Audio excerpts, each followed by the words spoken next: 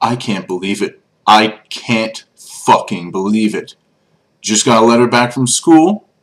The thing I spent three months working on. Diligently, I suppose. Just got my letter back, and it reads, We're pleased to inform you that you have passed first period of apprenticeship technical training. Your results are presented on the other side. 78%! The pass was a 70! No way in God-given hell did I ever, ever imagine that I would fucking pass. I am fucking retarded. This oh, this deserves celebration. Sorry, Ryan. Mm. That is smooth as shit. I'm so relieved. Oh my god, I've been stressing for the last two weeks. I've been kicking myself for not studying more. Uh, even during school, especially over the last two weeks, because I was positive, absolutely positive, without a shadow of a doubt, that I failed this final exam. Hell, I barely fucking passed any of my other classes. It was, god damn, it was fucking touch and go for a minute there. It, I was fucking definitely, I would like to thank Mr. McNabb, my shop teacher, for giving me a pass in shop because I have absolutely no fucking hand skills in sheet metal.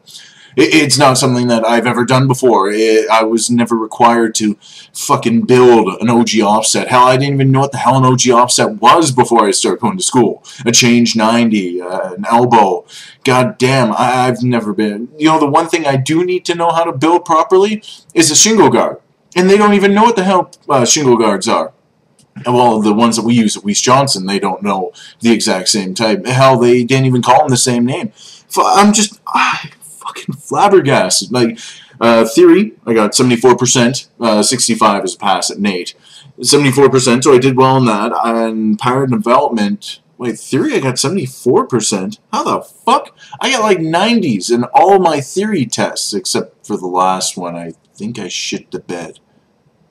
No, no, all my theory tests, I did really well. How the hell did I only get 74%? Power and development, I don't know how the fuck I got 75% in power and development. Power and development, I failed every test we had except for the very last one. Every test I got 60, 58, 62, which were all fails in NAIT's eyes. And I get 75 some fucking hell. I got like 93 on the final exam for power development, but that was just goddamn cakewalk. That was draw all the same shit that we've been drawing before. It, it was, oh, I, I couldn't fucking believe that was so easy. And then uh, fabric uh, shop class, 65%. And my teacher even told me, he's like, I give you a bump up in that. I'm like, I appreciate all the help. I needed it. Hell, that man was at my desk, and Mr. Ripley, the other instructor in shop class, were at my table um, probably more often than anyone else because I struggled with everything. Everything. It was fucking ridiculous. The only thing I didn't struggle struggle with was the uh, last duck line that we built, and that was because I actually paid attention and studied for that. The other ones are like, oh, go home and study. I'm like, how the fuck do you study doing sheet metal if you don't have metal at home to work on? No, you can study the processes and how to go about things. Laying it out is half the battle right there. Putting it together is another fucking battle and a half. But ah, and then blueprint reading, I got 80%. I only remember two tests in blueprint reading, and the final test that we did for blueprint, I got 55%. How did I manage to get 80% in that class? Beats the hell out of me. And then the most important, the AIT final, which was 78%. Uh, I'm just looking at. Uh, I got three questions in theory wrong, three questions in power development wrong, 10 questions in uh, fabrication and welding. Big fucking surprise. I spent hours reading the individual learning modules, the ILMs as they call them, if for welding because every time I ran across welding in a test, I had no fucking clue. Ain't nothing about oxyacetylene, nothing about TIG, MIG, uh, arc welding, none of that shit. I had no fucking clues. I'm like, I have to study this shit. Oh god. And then blueprint reading, I got six questions wrong. That's actually not too bad because I didn't read a goddamn blueprint fucking book.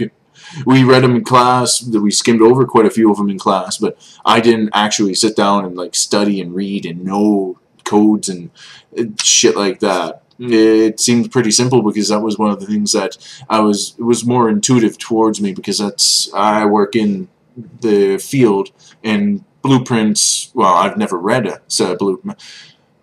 It was more of how you do a job, and that is my expertise. But yet, I actually did the worst uh, percentages. I think of that. Yeah, let's see, 80% for the welding and fabrication. Uh, da, da, da, that, that, fuck. I can't fucking believe it. I'm getting a raise, bitches. I'm gonna be making the mad money. Fucking A. I can't believe this. School sucked so bad. It was one of the biggest mistakes of my life going to school. And you know what? It fucking paid off. I was miserable for three months. I was progressively getting poor for three months. And I hated, well, the first two weeks were fine. After I broke with, with Roberta, everything went to shit. And it didn't get better until right now. Fuck! Oh my god. To all you naysayers out there, which I, I don't think there were, except for me. I was the only naysayer. So fuck you, me. Have a little bit more faith in my yourself, asshole.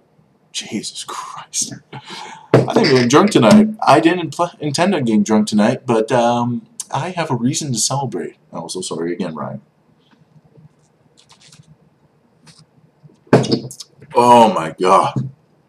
That is tasty shit. Well, I'm just so fucking happy I want to dance.